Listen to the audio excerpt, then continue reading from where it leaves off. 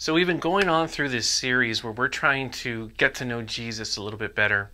Through our series, we've kind of taken time to reflect upon Jesus' interaction, not only with his own family, interactions that he's had with disciples, interactions that he's had with even people who were opposing him. The religious leaders were mainly the ones that had the opposition and, and those moments where they were constantly in conflict with him. But I want to take today um, a, a, very unique Sunday and say, as we're slowly walking our way to Easter, sometimes as we talk about the kingdom of God and when we talk about it, it, it becomes very foggy, it becomes very um, confusing. And I say that for many, many different reasons. As, as uh, disciples of Jesus, sometimes those who have been entrusted to to teach us or to train us or to guide us in our spiritual walk and our understanding of Christ and his kingdom, uh, about the Father and the Holy Spirit's role.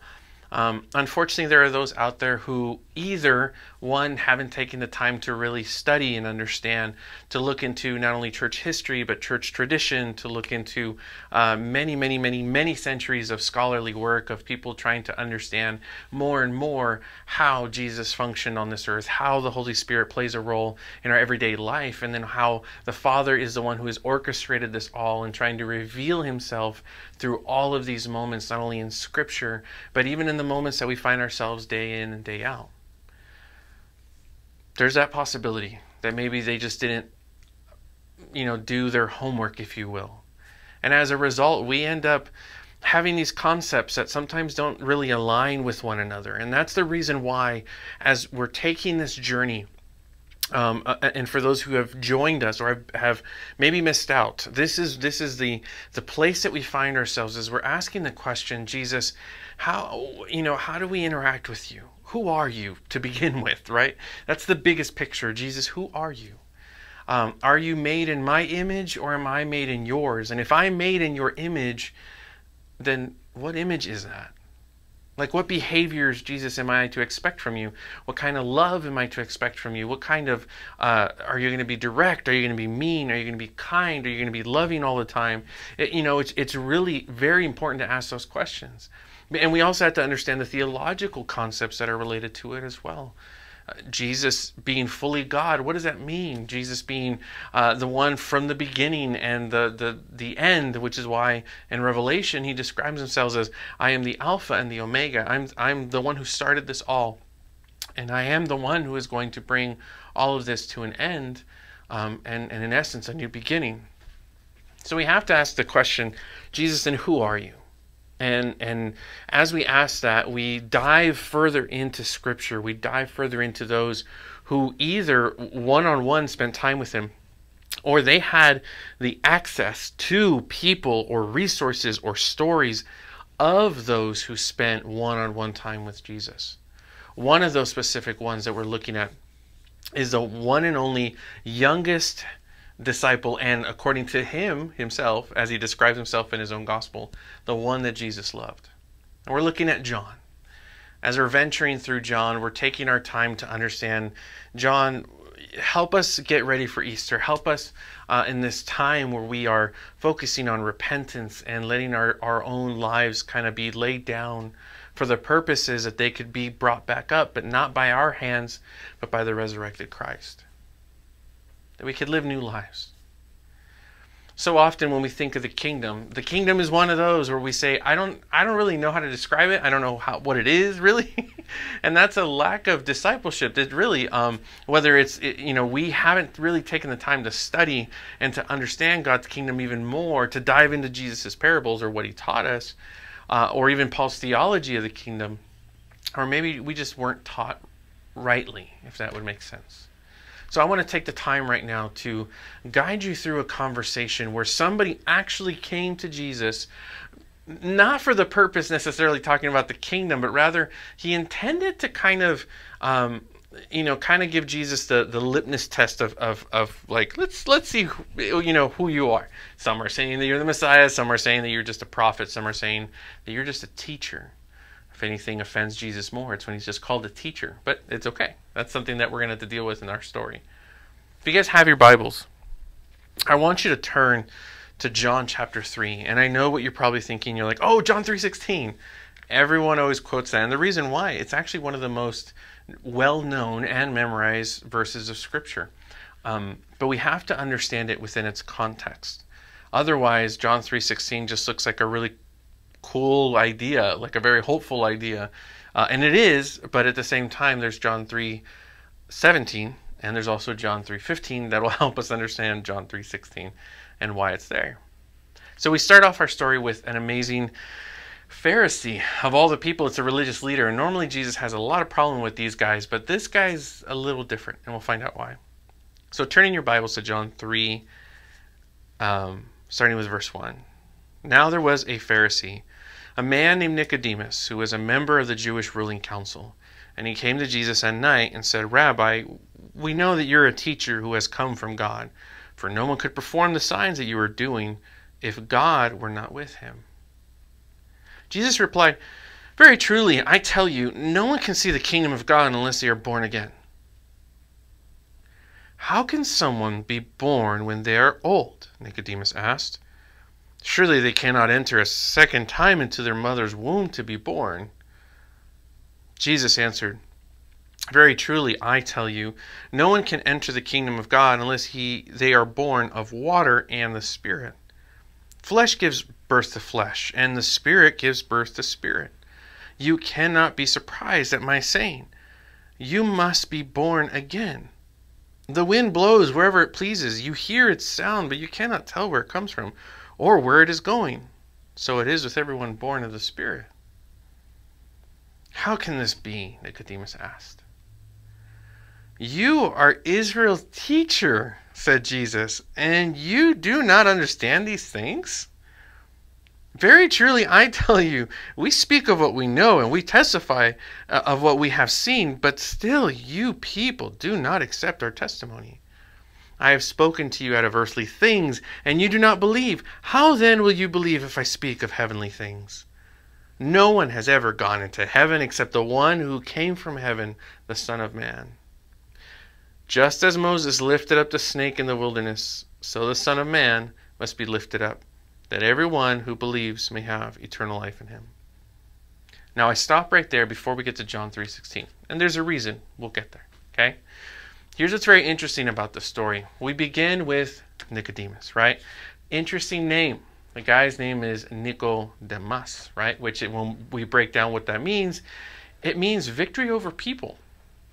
Interesting. Maybe his name was given that way because he, in this story, is actually buttering up Jesus. I'm very thankful that we never do that, right? When it comes to prayer, let's be honest and real.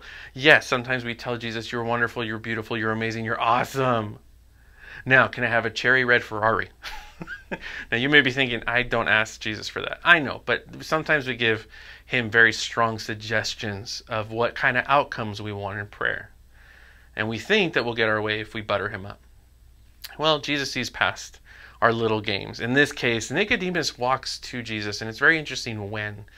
According to John, it says that Nicodemus came to Jesus at night. Why at night?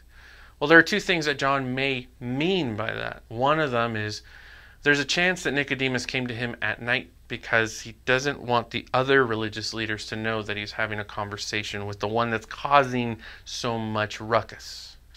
So it's kind of the I'll meet you at midnight so that way nobody knows that we're talking. But there's also something interesting.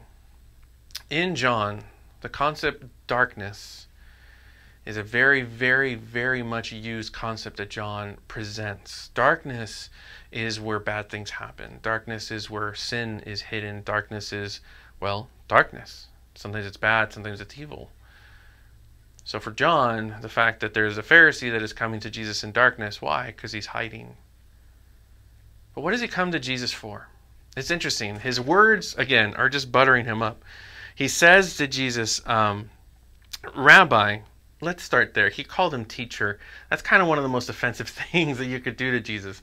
read the Gospels. Whenever someone calls Jesus rabbi, oh, it's like that super uncomfortable. Like you're giving me this title out of respect, but you really don't respect me.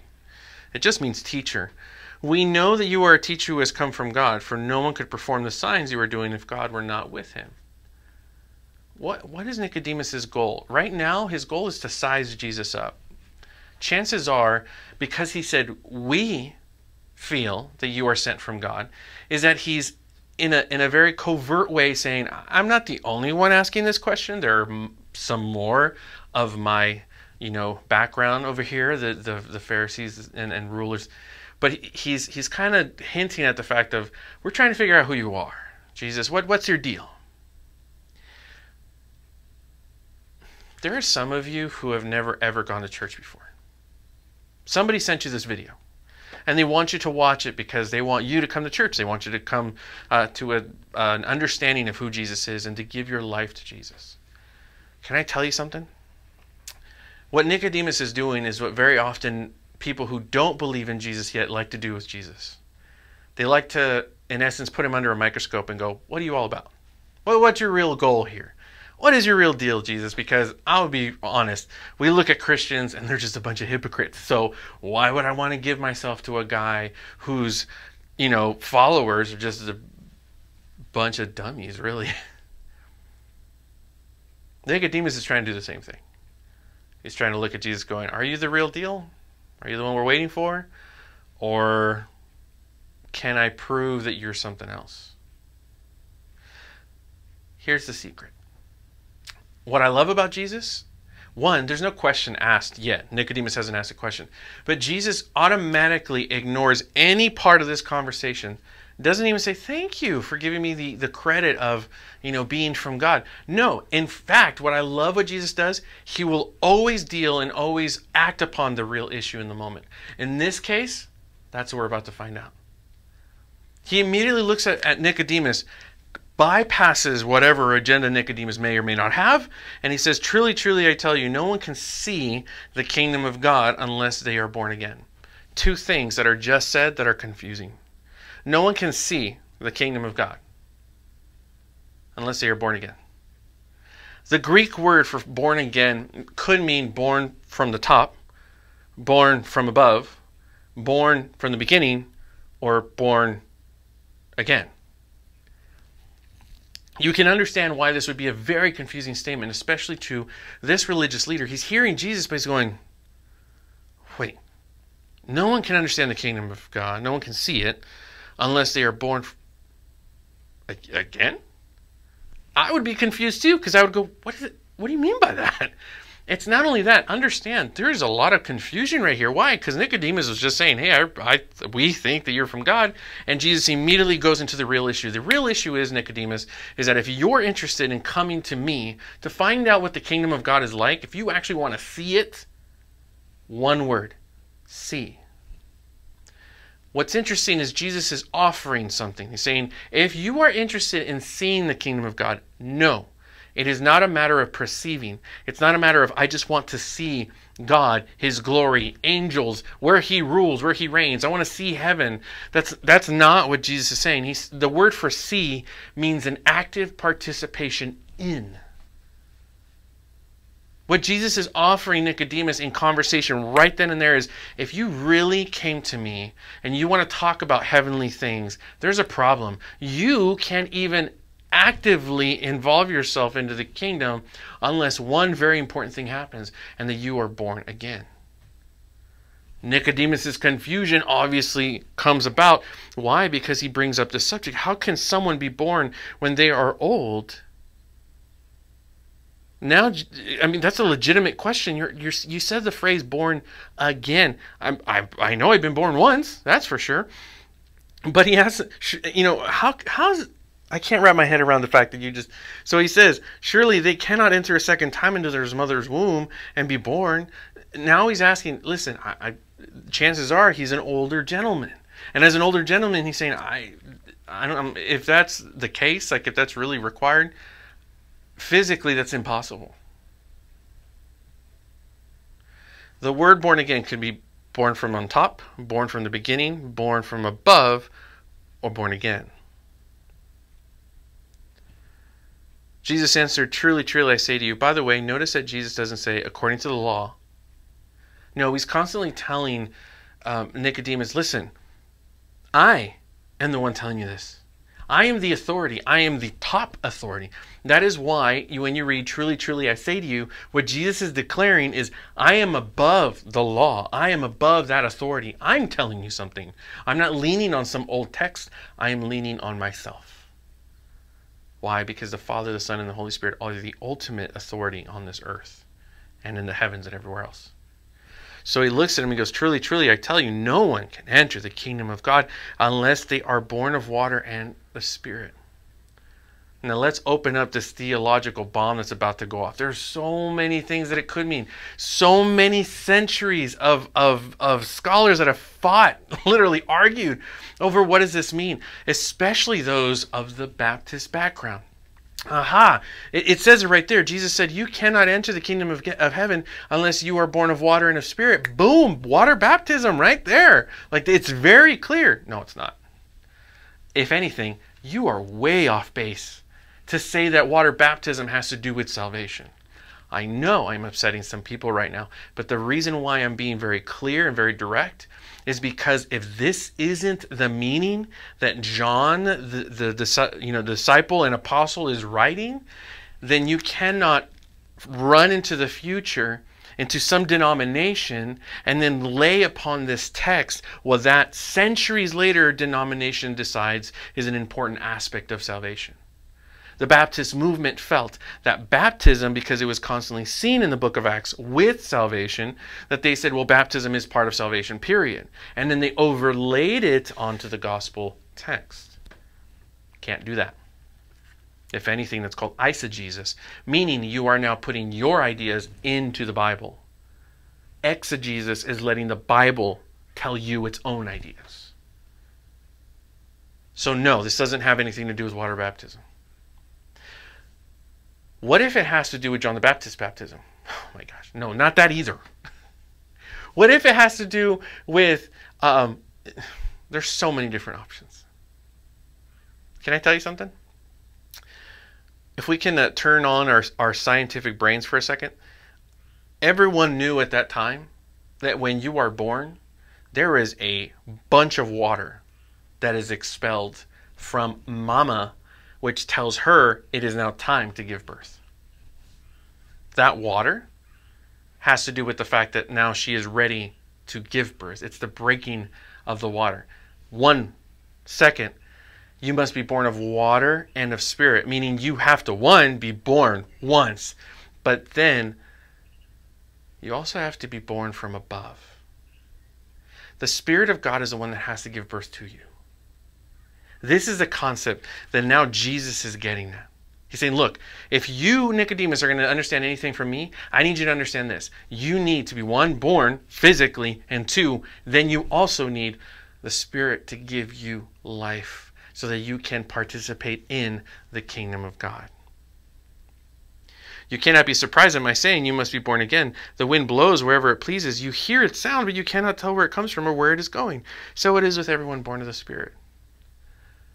Jesus is now displaying to him listen, you can't control the Spirit and Him giving birth, bringing new life to whoever He wants. The religious leaders had certain, you know, regulations and expectations. God would give birth to, well, people that had their ducks in a row. Not to the people that aren't listening or not following Torah, there or people that had physical ailments or mental disabilities. Like, oh, they they are definitely not loved of God, and they're on the outside. They're not even allowed in temple. Jesus was saying, look at the look at the wind. You see the wind? Yeah, you can see that it's doing something active. Where did it come from? No one knows. Where's it going? Nobody knows that either. You can see that it's happening, but you can't control it. What Jesus was telling Nicodemus is listen, the Spirit of God is coming with a new awakening, with a new life, with a new breath, with a new beginning, if you will. He is recreating creation. And you, you can see it happening. But you can't always decide when, where, how, or why. Finally, Nicodemus changes the questions. Instead of how is that even physically possible to be born from your mama again? Now he's moved on to how how does how does how exactly does this happen? I want to know. How does one jump into the kingdom? Jesus said, "You are Israel's teacher." In other words, you are the one that is studying Torah. You are the one that is spending time with God. You're the expert on God. And yet I can't tell you the things of heaven because you have no understanding of them. Is that correct? Is that what I'm getting at? Could you imagine sitting in the doctor's office and you have to explain to your doctor what's wrong with you and then give them the diagnosis of what's wrong with you? And he's sitting there going, Well, I don't really. You would get out of that room and go to another doctor immediately, wouldn't you?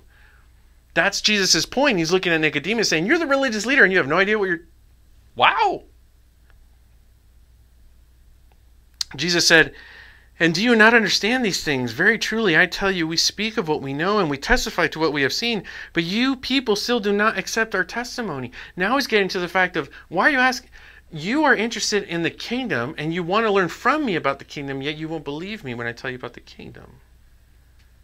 I have spoken to you on earthly things and you do not believe them. Do you know what he means by that? Is he talking about heaven? Yes, but he's talking about what is it like when the Spirit of God interacts with earth? What does it look like here? What, what does kingdom life look like here? It means that the Holy Spirit makes you aware of the fact that there is a kingdom and invites you not to just watch things, to actively participate in them. Be the kingdom, if you will. Wow. That's how it works here.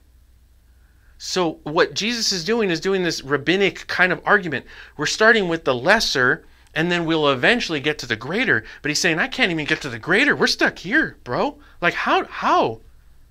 I'm trying to explain to you how things function here. I, I don't know if you're not getting the concept now. How am I going to tell you about how things function there? No one has ever gone into heaven except the one who came from heaven, the Son of Man. I love that word. Jesus doesn't call himself the Son of God. He calls himself the Son of Man. Why? Because Son of God and Messiah were loaded with this, you know, sword in hand kind of, uh, of, of imagery that the Messiah would be someone who would stab everyone and take over and God is in control but you use the word son of man and now you're going to to daniel and ezekiel and and and the prophets that said that that that that god was with god and and and and that the the son of man approached the ancient of days. And he's a servant and he suffers and yet he's a king. See jesus was he didn't want mislabeling. He wanted to label himself correctly. So he said, I'm going to choose this phrase, Son of Man, which we could translate to mean Superman. Just as Moses lifted up the snake in the wilderness, so the Son of Man must be lifted up, that everyone who believes may have eternal life in him. Now he's trying to invite Nicodemus to a reality of the kingdom. Nicodemus, listen. In the book of Exodus, there is a moment where snakes were constantly attacking Israel. As a result, uh, Moses ends up taking one of the snakes, kills it, wraps it around a staff. And in those who were inflicted because of the snake bites, Moses ends up lifting the snake up. And this snake that is wrapped around this, this you know, stick or whatever, he says if anyone looks upon this image, that they would find healing. And they did. It was a miracle that God performed. You know what's funny? I want you to think of any ambulance that you've ever seen drive by.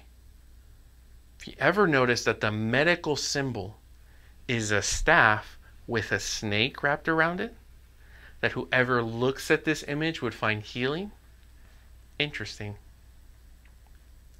Not only is this found in Exodus, the purpose that the reason why Jesus brings this up is because Jesus would be lifted up as well. But whenever the the um, sorry the Gospels reference Jesus being lifted up, it's not just an exaltation; it's always a reference to the cross.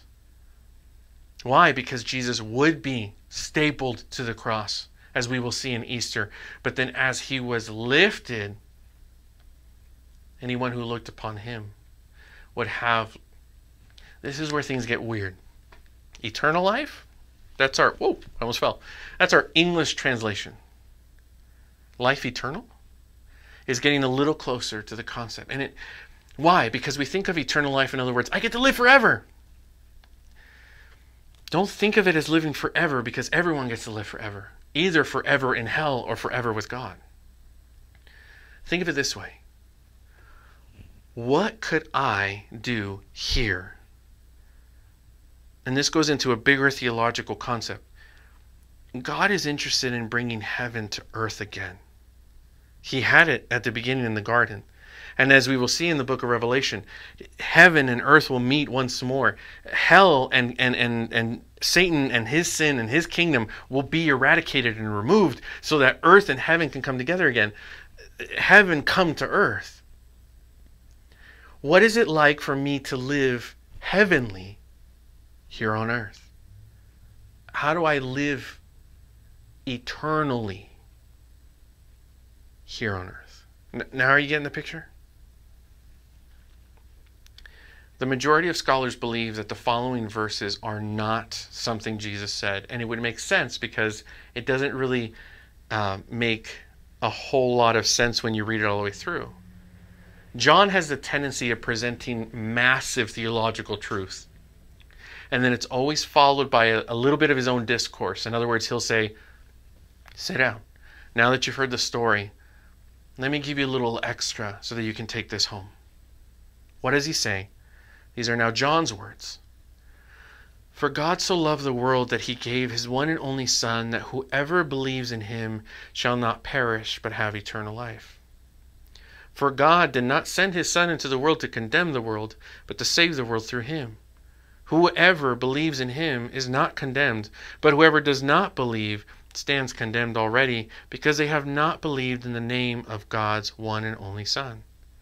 This is the verdict and this is what I want you guys to pay attention to. Light is coming to the world. There's that concept light. Light has come into the world, but people love darkness instead of light because their deeds were evil. Everyone who does evil hates the light and will come into the light for fear that their deeds will be exposed. But whoever lives by the truth comes into the light so that it may be seen plainly that what they have done has been done in the sight of God.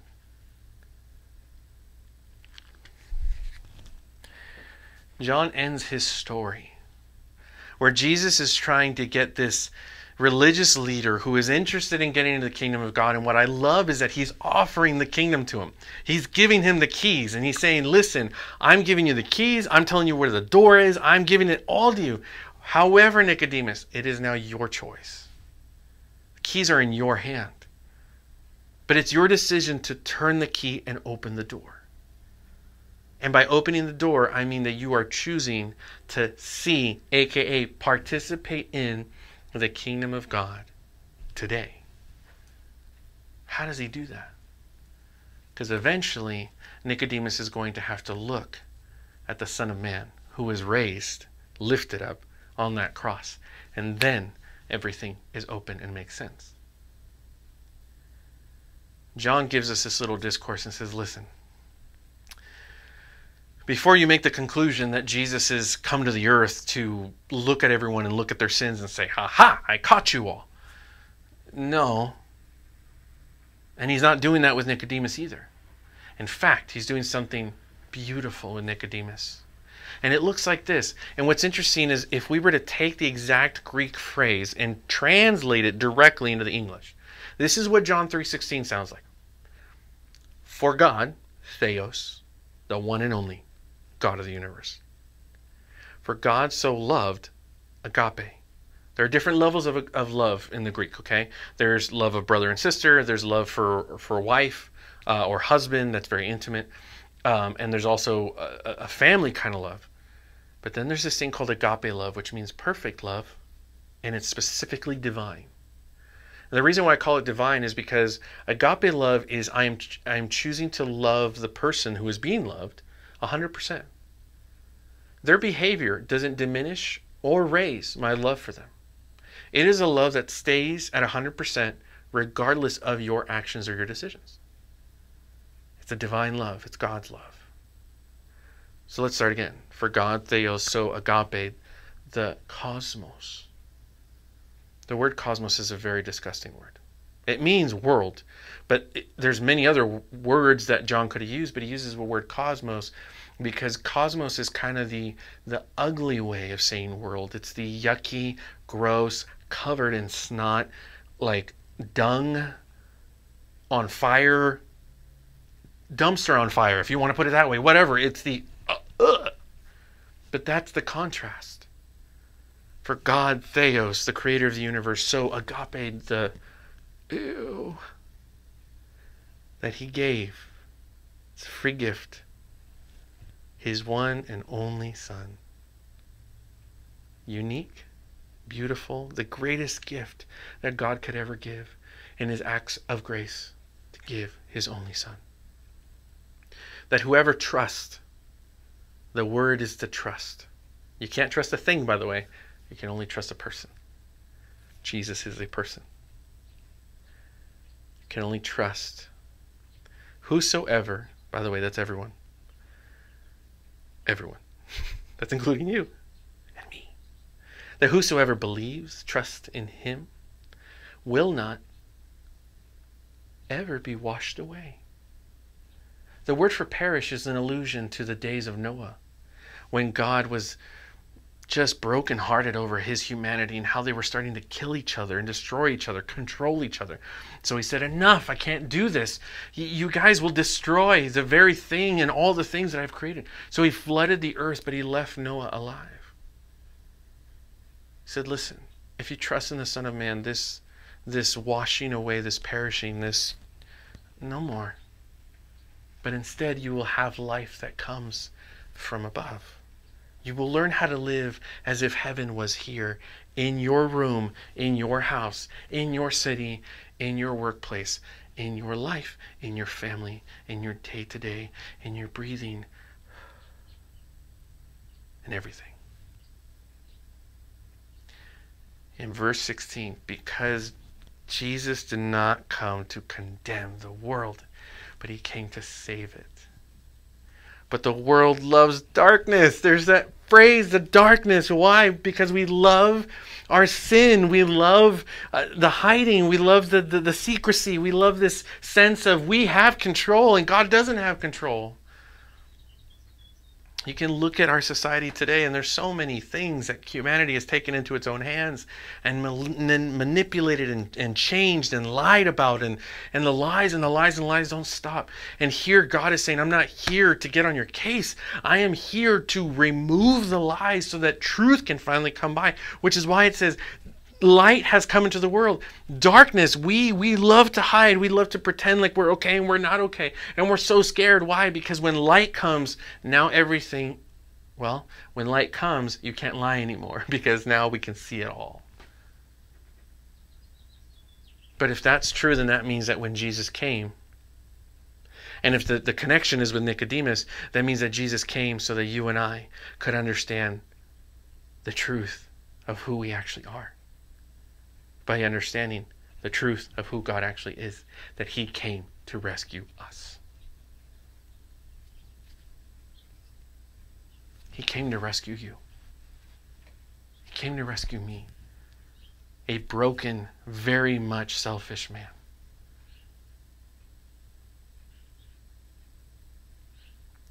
I don't know about you, but that sounds like really good news. And before you make the decision that, well, Jesus is just here to control my life and for people at church to control my life, and stop. If that's what you think is going on, then you've completely missed this conversation. You've completely missed John's extra conversation. For Jesus did not come to condemn the world, He didn't come to bring it into chains, He came to set it free. He came to help you and I understand our need for Him. That without Him, our lives will have been wasted and wasted away, like, like falling into an ocean that rises and rises and there's no hope for us. And what ends up happening, we just drown and we just disappear. that whoever believes and trusts in Jesus would never ever be washed away. But instead, we will finally receive what we were intended for, and that is to have heaven and earth together again. We, we, you and I are where heaven and earth meet. And it started with the ultimate heaven and earth meeting, and that is Jesus, fully God and fully man. I'm telling you, John chapter 3 is insane. But I have this offer to give you. Do you just want to see it? Or do you want to be a part of it? That's where this started. This is where the conversation started with Jesus. He looked at Nicodemus and he said, No one can see. In other words, no one can actively participate in the kingdom unless they are born of water and of spirit. Did you know that if you have a desire right now to have a relationship with God, you didn't start that? In fact, according to theology, according to your Bible, no one, no one starts that. More specifically, if you read John's letters later on in the Bible, it says, He loved us before we loved Him. Which means that your desire to want to give your heart to Jesus right now, that's not yours. That's His. He's putting that desire in you.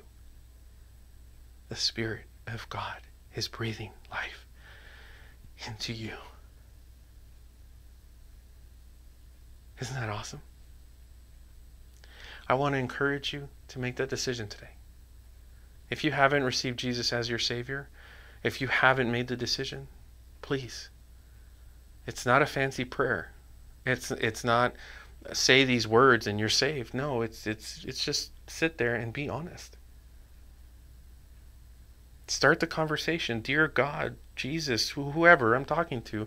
With time, you'll te- you'll teach me how to talk to you, but I'm here to tell you I'm I give up. I'm done. Please be the Lord of my life. Be the one who guides me. Be the one that puts my training wheels back on. Be the one who gives me new beginnings. But there's also some of you, renegades, if you want to call them that. there are some of you who, man, you walked away. I don't know, maybe life got too hard or maybe something happened. Maybe church was too churchy for you and maybe somebody made mistakes. Or maybe you felt like Jesus failed you. But right now, there's that part of you that says, But I really, really want to get back. I really just want God again. That feeling isn't yours, that's His. He's putting that feeling in you. I would highly encourage you to come back. In the words of a, a little old lady that once talked to me, Maybe it's time you come home.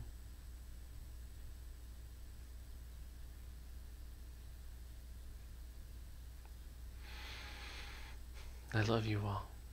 Grace and peace be with you. Have a great Sunday.